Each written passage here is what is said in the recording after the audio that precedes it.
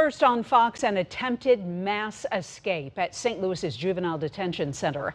A worker is in the hospital after being severely beaten. Now, there have been several escapes and attempted escapes in the past year. New at 10, Fox 2's Andy Banker with the simple issue that seems to be causing big problems in a story you'll see only on Fox.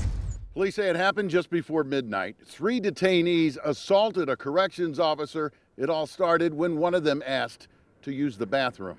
A staff member says there are no toilets in individual cells, so the unarmed detention officers, officially called youth leaders, have to unlock the cells to allow detainees to use a restroom.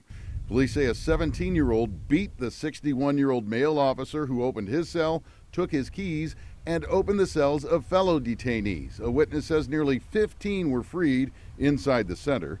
The victim is hospitalized for broken facial bones. Members of the St. Louis Police Anti Crime Task Force happened to be on site for an unrelated assignment. They helped detention officers stop what could have been a mass escape. Police took three detainees, ages 14 to 17, into custody.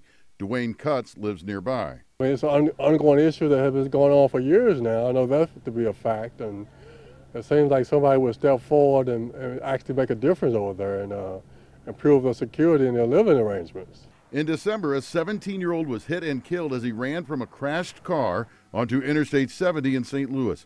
He had escaped the detention center about three months earlier, one of at least 10 detainees to escape in less than a year. A staff member says the restroom issue heightens tensions, with detainees frequently urinating and defecating on cell floors. Having to unlock cells so detainees can use a restroom puts staff at risk and has led to repeated escapes.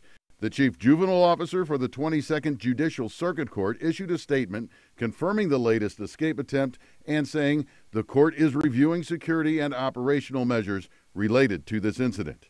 Andy Banker, Fox 2 News.